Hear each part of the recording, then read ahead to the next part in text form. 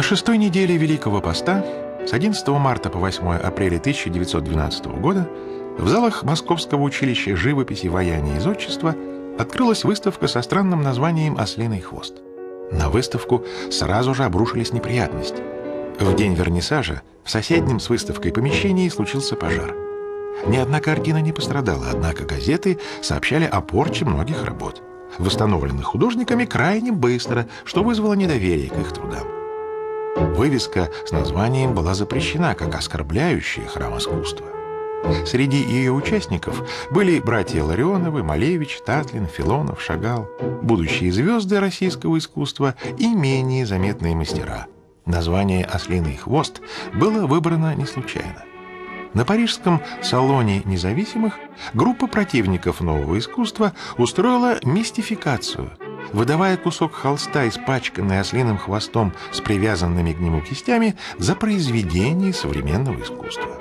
На это мгновенно среагировал Ларионов, присвоив выставке название «Ослиный хвост». Цензура запретила показ десяти картин. Одну композицию Роговина, один эскиз натурщицы Филонова – и восьми Натальи Гончаровой на религиозную тему. Бесспорными лидерами и организаторами выставки были Михаил Ларионов и Наталья Гончарова, неразлучные с 900-х годов и прошедшие рука об руку до конца своей жизни.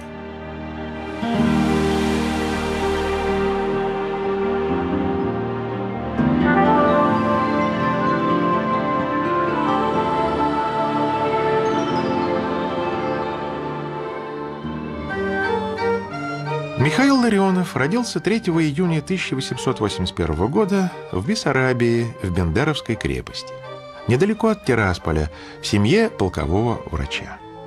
Его отец происходил из рода старообрядческих поморов, селившихся на берегах Белого и Баренцева морей. Окончив Московский университет, молодой врач вскоре женился на южной красавице из Тирасполя. Первенца своего они назвали Михаилом. Вскоре у Михаила появился брат Иван, а позднее сестра Ксения. Тирасполь был провинциальный, пестрый южный город. Многоязычное население, пестрые базары и кустарные лавочки расцвечивали его нехитрый быт. В 1893 году семья переезжает в Москву на чистые пруды – в июле 1898 года Михаил Ларионов подает прошение в Московское училище живописи, ваяния и зодчества и поступает в первый класс общеобразовательного отделения.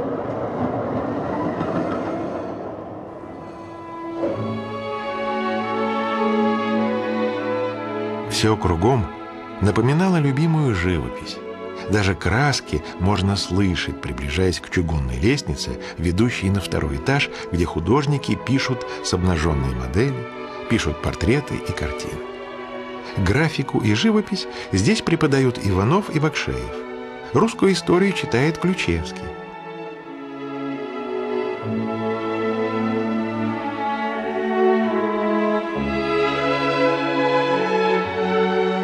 Здесь, в 1901 году, Ларионов знакомится с Натальей Гончаровой.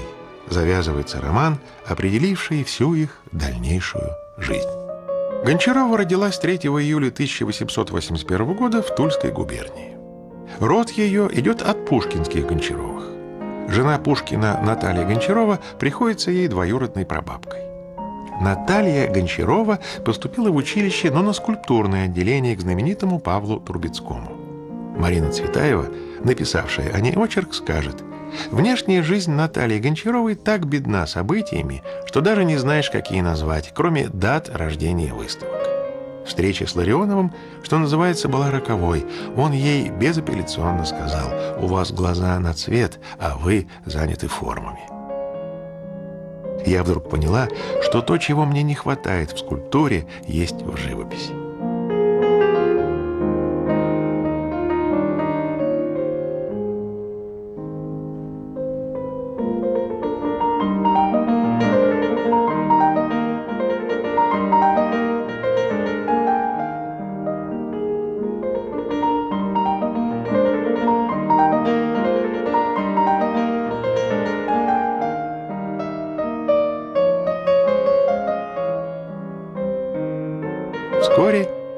Поселились в квартире в Трехпрудном переулке. Этот дом был построен отцом Натальи Сергеевны, архитектором Гончаровым в конце 19 века.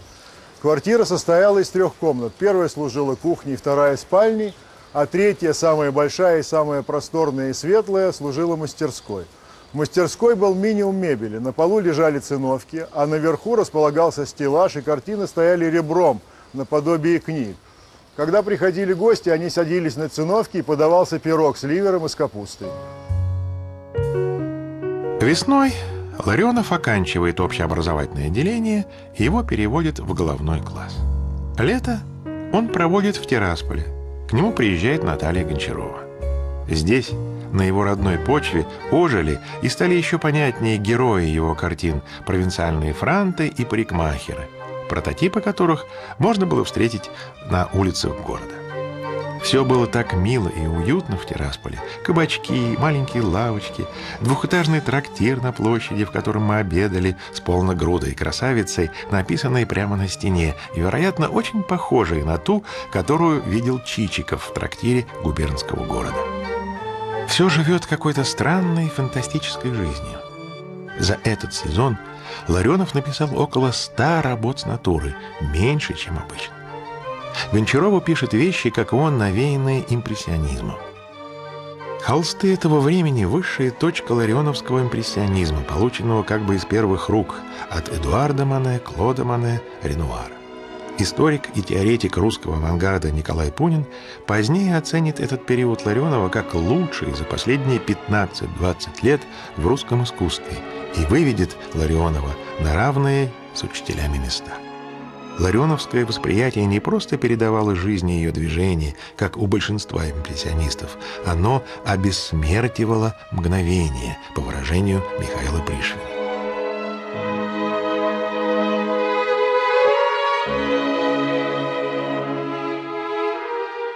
Ларионов как бы свидетельствует, только под солнечными лучами все оживает. Жизнь невозможна без солнца, она гаснет вне его лучей. В этих сериях Ларионов пробует разобраться в вечном превращении живого в неживое, жизни и смерти. Михаил Ларионов делает золото знаком солнца, а паутину – бесконечной нитью жизни.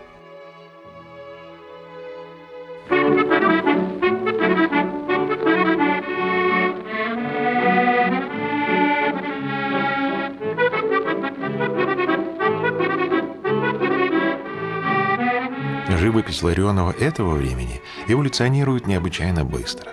Упрощение форм, звучный цвет, сочная красочная фактура, взрывная сила, интенсивность делают его проводником новых течений. Столь же быстро меняется и Гончарова –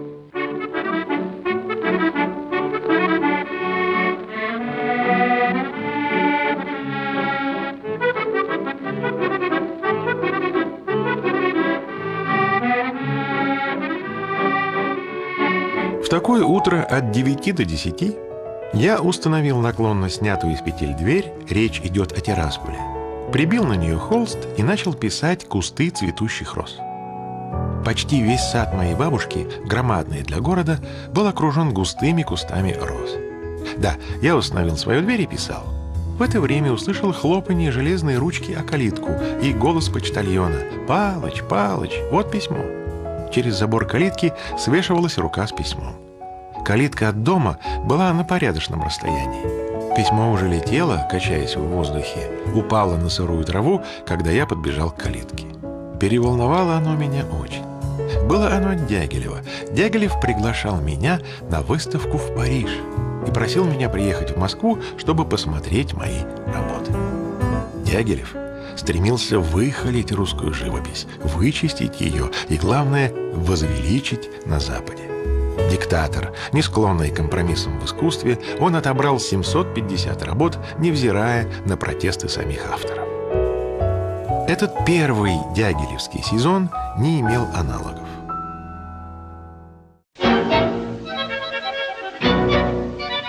Французы восторгались иконами, портретами Левицкого, но Врубеля не ценили, слишком сложно.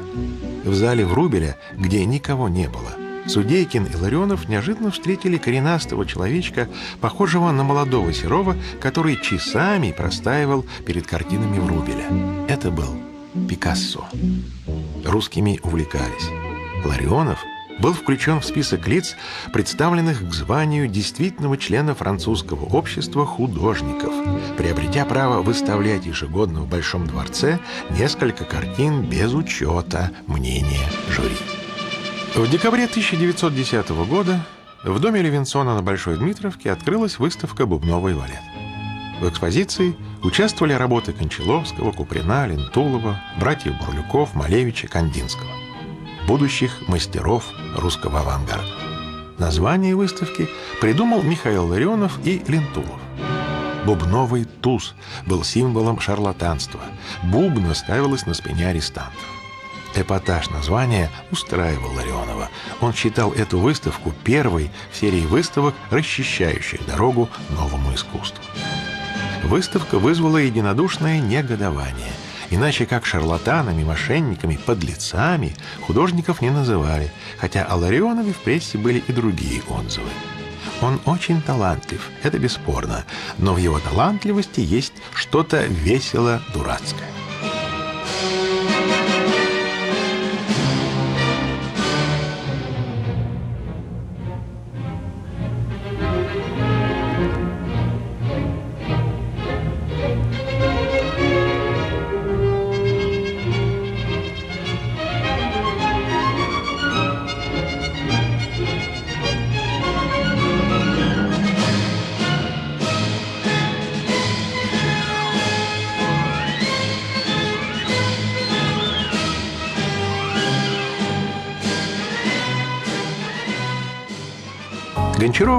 идет тем же путем, что и Ларионов. Она часто впадает в нарочитую грубость, ей не свойственную. Машков, Лентулов, Кончаловский, Ларионов, Гончарова – вот ядро бубнового валета. Они различны по темпераменту, но составляют одну целую группу. У них есть живописный инстинкт. Они талантливые, они дерзкие. Но они слишком доверяют непроизвольным жестам руки, которая водит кистью. Они не умеют себя ограничивать и недостаточно строго сами себя судят. Все произведения были радикальными и выявили новую ступень в новом искусстве. Между тем лидер бубнового валета Петр Кончаловский писал «Наша группа ничуть не думала эпатировать буржуа.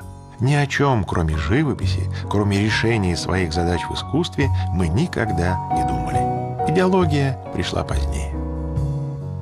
Ларионов не отметал содержательность искусства, не отрывал его от жизненных соков российского бытия, у него был редкий и бесценный дар, о котором говорил Лев Толстой. Просто уважение. Уважение ко всему и за все. Уважение вот к этому лопуху из чистокола за то, что он растет, к облачку на небе, к этой грязной с водой в колее дороге. Ларионов, Гончарова, Малевич, Татлин и другие левые берутся полемизировать с основной группой и скоро выйдут из состава объединения. В обществе «Бубновый валет», утвержденном 1 ноября 2011 года, их имен уже не будет. Зато 8 декабря Общество свободной эстетики делает однодневную выставку работ Ларионова. Это будет его единственная персональная выставка до революции. Окончательное размежевание группы Ларионова и Кончаловского произошло на знаменитых диспутах, первый из которых состоялся 12 февраля в большой аудитории Политехнического музея. Зал, вмещавший тысячу человек, был забит до отказа. У входа столпились не попавшие в него. Пришлось вызывать полицию. Диспуты были специфически русской формой общения. Их не было в XIX веке. Кубисты во Франции их не устраивали. Эти российские диспуты десятых годов будут возобновлены в политехническом в 60-е годы XX века. Правда, связаны они будут с поэзией. А 12 февраля 1912 года в политехническом заседал президиум во главе с Кончаловским. Ослинохвостовцы, сцепившись с бубновым валетом, ломали пюпитры и били физиономии. Ларионова, заявлявшего о консервативности бубновых валетов, не захотели слушать и прогнали с кафедры под улюлюканье зал. Из пиджака торчит рубашка, пятнисто-грязный синий цвет. Лица подобия даже нет. На чурбашке есть фуражка, и это все автопортрет. Искусство. Искажение действительности, а не копирование ее. Я слышу Пушкин. Долго ли мертвые будут хватать живых? Да, Распутин занял и в искусстве пост.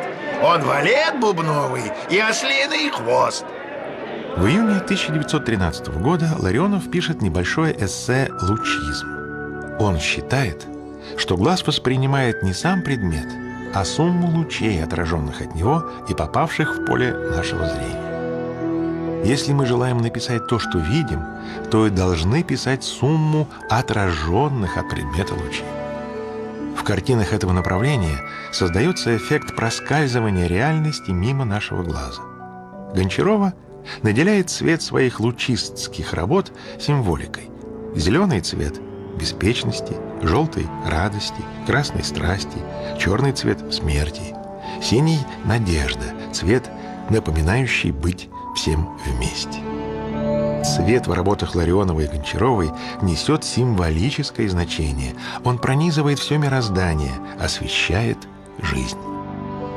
Это жизнестроительная сила искусства будет подхвачена всем авангардом XX века. Сознавая свою роль, Ларионов писал, «Моя задача не утверждать новое искусство, так как после этого оно перестанет быть новым, а стараться, поскольку возможно, двигать его вперед.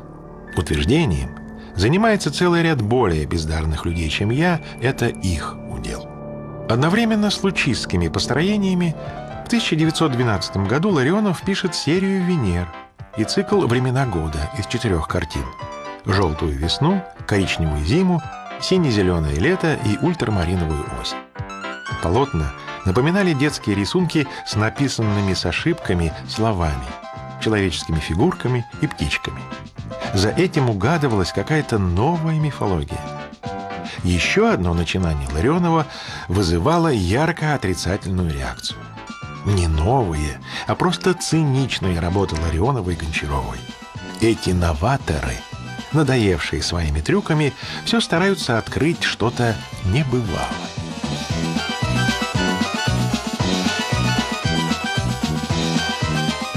Гончарова и Ларионов раскрашивают лица и ходят по Кузнецкому мосту, распугивая прохожих.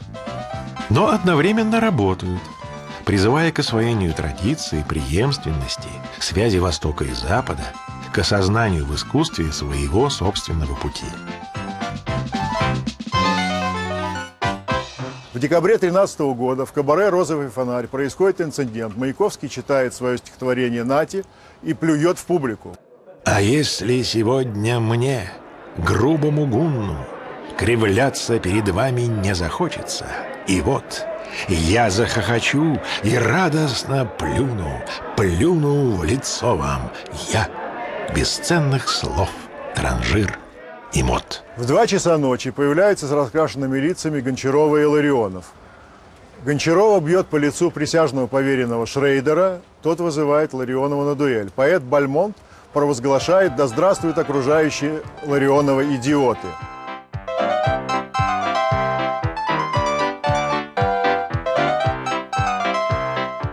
В январе 1914 года на экраны выходит фильм «Драка в кабаке номер 13» с участием Ларионова и Гончаровой, который снимается с раскрашенным лицом и обнаженной грудью. Ларионов предпринимает попытку создать футуристический театр «Футу», упреждая при этом инициативы Маяковского, Матюшина и Малевича. Но не удалось. Последняя выставка, которую Ларионов устраивает в России, называется «Номер 4». Она замыкает серию задуманных им выставок, начиная с бубнового валета. Отмечая общее настроение участников выставки, художник Сергей Романович вспоминал «Все, как будто с ума посходили.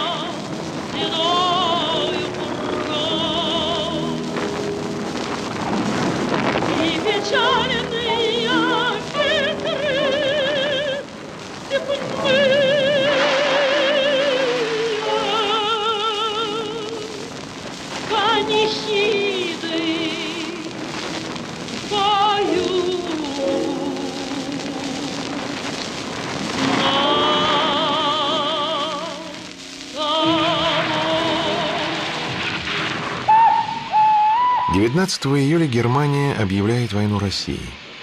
На фронт уходят Якулов, Зданевич, Осьмеркин, Барт, Кончаловский. В военную форму оденут даже Хлебникова и Маяковского. Из воспоминаний Сергея Романовича. Несколько дней промелькнуло, и вот мы провожаем вас с Рижского вокзала в неизвестный и опасный путь. Он стоит одетый в военную форму на ступеньке вагона уже движущегося поезда, веселый, оживленный, но взволнованный. Не желающий показать ни тревоги, ни сомнения. Чтобы еще больше не расстроить тех, кто его провожает, и прежде всего ту, с которой он делил так много жизней.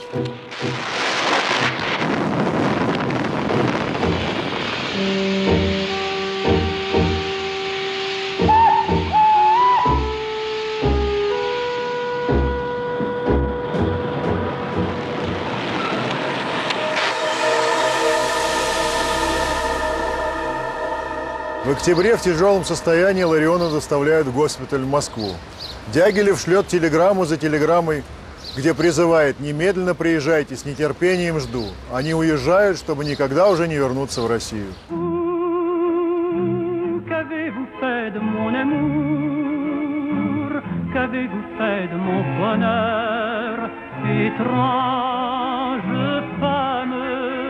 Начинается то, что Марина Цветаева назвала «после России». Это очень точно, потому что национально-русское в работе Гончарова и Ларионова зарубежного периода не исчезало, а лишь уходило вглубь, становилось потаенным.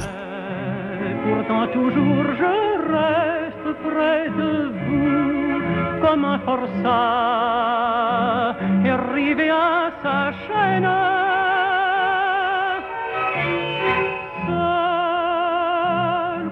Croyant encore et malgré tout, je trouve ma joie dans les peines venant de vous. Quand je vous dis que je vous aime, vous ne devinez pas В одном из своих писем Гончаровой Ларионов пишет «Мне удалось снять мастерскую. Стоимость 2700 франков. Надеюсь, все уладится».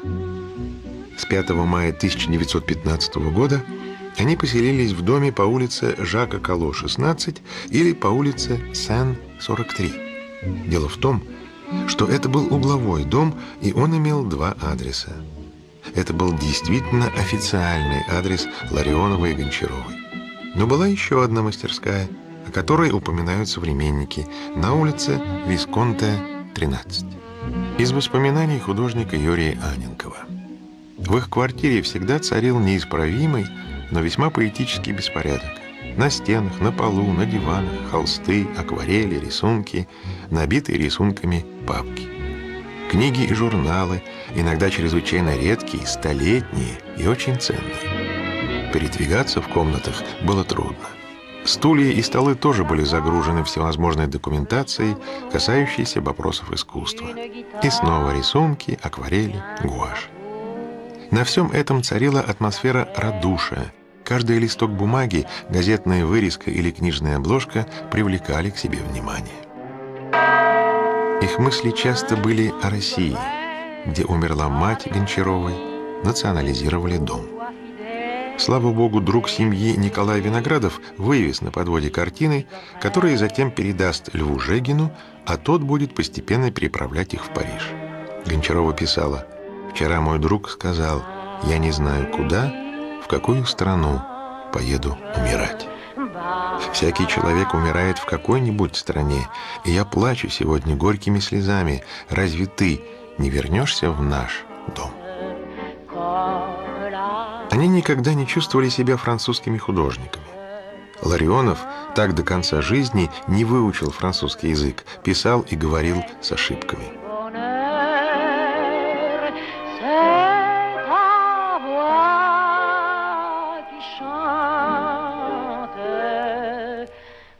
В жизни Гончаровой появился Орест Розенфельд, а у Ларионова – Александра Томилина.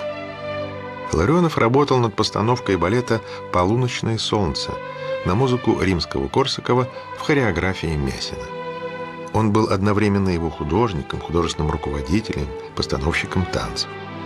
Премьера прошла 7 декабря 1915 года в Гранд-Опера в Париже наряду с Шахерезадой и «Спящей красавицей».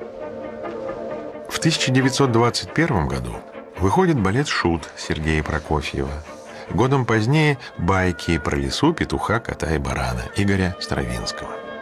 Все они проходят с неизменным успехом. Позднее Ларионов формулирует свою кредо. Хореография в чистом виде – это искусство движения, не скульптурности, не экспрессивной выразительности фигур, но движения. Наши эмоции могут быть выражены средствами живописи, скульптуры, хореографии, в последнем случае движение основное. Ларионов настолько увлекается балетом, что в эти годы мало занимается живописью. Постепенно он приходит к балетмейстерской системе записи движения каждого персонажа. Весь балет расписывается по минутам. В этих записях он как бы развивает фигурки персонажей, оставляя на них минимум облачения. Он стремится также минимально декорировать сцену, прийти к минимализму средств. Идеальным для него становится оформление действия в репетиционном зале. Даже Дягилев не был готов к такому новаторству, и многие идеи Ларионова остались на листах тетрадей и блокнотов. Постепенно Ларионов становится теоретиком, историком и критиком балета и выпускает несколько книг. Поглощенный театром, он пишет самоповторы. Тем более, что хранители его наследия в России Николай Виноградов и Лев Жегин посылают ему из Москвы его ранние произведения. Часто они годами стоят неразвернутые. Он начинает писать книгу о Дягилеве, смерть которого в 1929 году в Венеции – потрясла художника и весь художественный мир.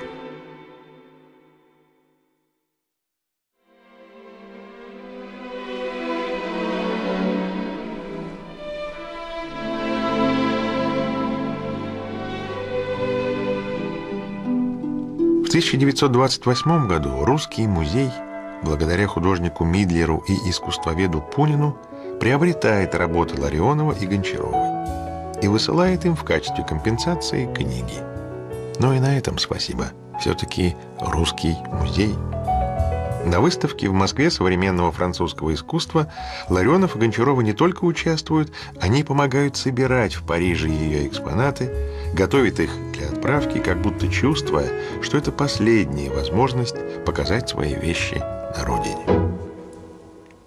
Во время экономического спада в Европе русские художники бедствуют. Фальк, Бакст болезненно переживают неуспех у французской публики.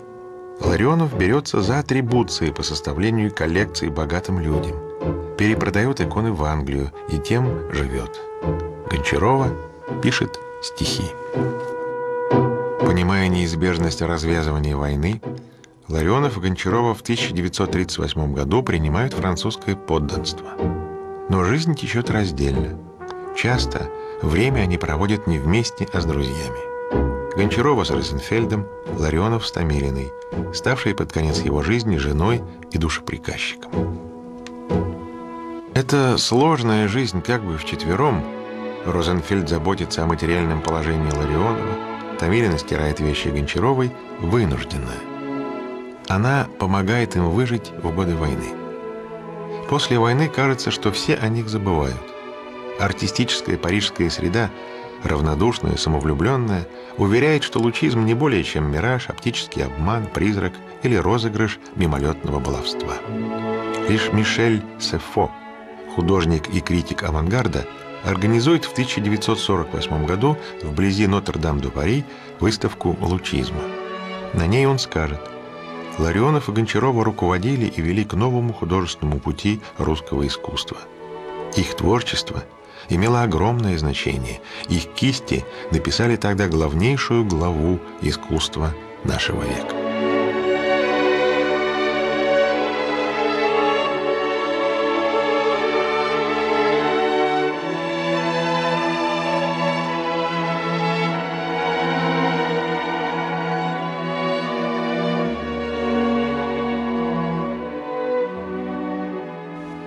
В 1950 году Ларионов получает инсульт. Приступ случился в Лондоне. Гончарова выхаживает его, он учится писать левой рукой. С начала 50-го года мир вспоминает о них. Устраивается выставка работ Ларионова и Гончаровой в Париже. Известные как театральные художники, они становятся как бы заново известными живописцами. Их работы включают в состав национальных выставок в Брюсселе, в Дюссельдорфе, в Руане, а персональные выставки организуют в Милане, в Базеле, в Бристоле, в Лондоне. В 1957 году Ларионов и Гончарова ведут переговоры о передаче безвозмездно работ на родину. «Дорогой Левушка», — писал Ларионов Жегину, — «раньше был болен я, уже семь лет, а теперь уже год, как больна Наташа может еле двигаться. Мы одни, у нас никого нет. Мы работали, чтобы оставить все родине. Как это сделать, не знаем. Как переправить туда. Здесь мы не знаем ни посла СССР, ни консула в Париже. Ателье и две квартиры завалены. Посредине лежим мы, я и Наталья Сергеевна. Так всю жизнь продумали о картинах и книгах. Только скорее, Левушка, помогите – Сообщите нашим товарищам, кто помнит нас. Письмо трогательное, но Родина отказывается от дара. Ларионов с горечью сетует. Сейчас Советский Союз не особенно дорожит достижениями, сделанными нами, но та работа, которая была сделана нами в центре страны, в городе Москве, на Первой мировой войне, важна. Зачем отдавать ее Западу? 17 октября 1962 года в клинике Парижа скончалась Наталья Гончарова. Ларионов переживет Гончарову всего на два года. Он будет стремиться домой, к дорогому прошлому, хотя бы мысленно. Мне из-за моего здоровья трудно будет даже прилететь в Москву. А может быть, все же Бог даст, прилечу?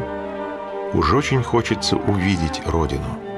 Для меня – это было бы самое большое счастье. 10 мая 1964 года Ларионова отпевали в православном соборе Дарю, главной русской церкви в Париже. Похороны состоялись на кладбище Иври-Паризьен, и там, где покоится Гончарова, будет похоронена и Томилина.